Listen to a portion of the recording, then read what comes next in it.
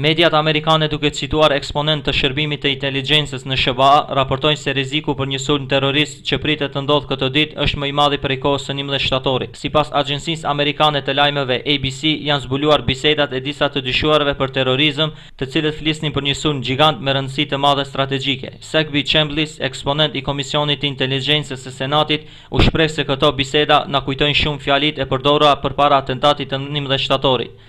Të njëjtën gjë ka konfirmuar edhe presidenti i Komisionit të Inteligjencës, Peter King, Nuk kemi më asnjë dyshim që ekziston një komplot dhe janë përgatitur sulme shumë të rënda.